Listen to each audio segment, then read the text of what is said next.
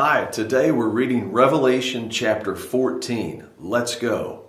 Then I looked, and behold, a lamb standing on Mount Zion, and with him 144,000 having his father's name written on their foreheads.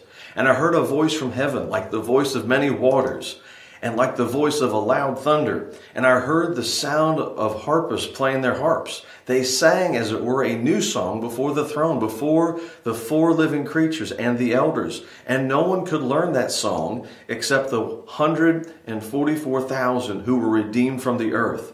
These are the ones who were not defiled with the women, for they are virgins. These are the ones who follow the Lamb wherever he goes.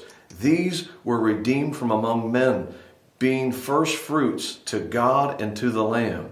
And in their mouth was found no deceit, for they are without fault before the throne of God.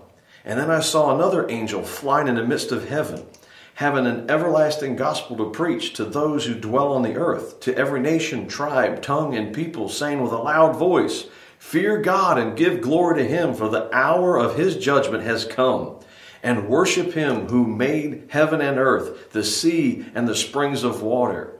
And another angel followed, saying, Babylon is fallen, is fallen, the great city, because she has made all nations drink of the wine of the wrath of her fornication.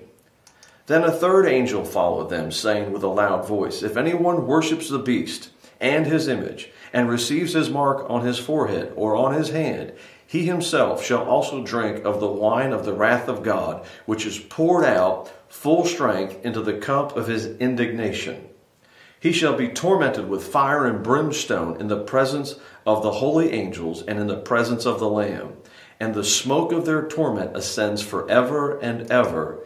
And they have no rest day or night who worship the beast and his image, and whoever receives the mark of his name. Here is the patience of the saints. Here are those who keep the commandments of God and the faith of Jesus.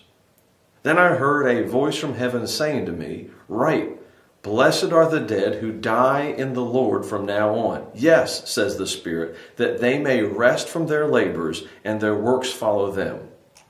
Then I looked, and behold, a white cloud, and on the cloud sat one like the Son of Man, having on his head a golden crown, and in his hand a sharp sickle. And another angel came out of the temple, crying with a loud voice to him who sat on the cloud Thrust in your sickle and reap, for the time has come for you to reap for the harvest of the earth is ripe. So he who sat on the cloud thrust in his sickle on the earth, and the earth was reaped. Then another angel came out of the temple which is in heaven, he also having a sharp sickle. And another angel came out from the altar, who had the power over fire, and he cried with a loud cry to him who had the sharp sickle, saying, Thrust in your sharp sickle and gather the clusters of the vine of the earth, for her grapes are fully ripe. So the angel thrust his sickle into the earth and gathered the vine of the earth, and he threw it into the great winepress of the wrath of God. And the winepress was trampled outside the city, and blood came out of the winepress up to the horses' bridles for 100,600 furlongs. Wow. Revelation chapter 14. See you tomorrow.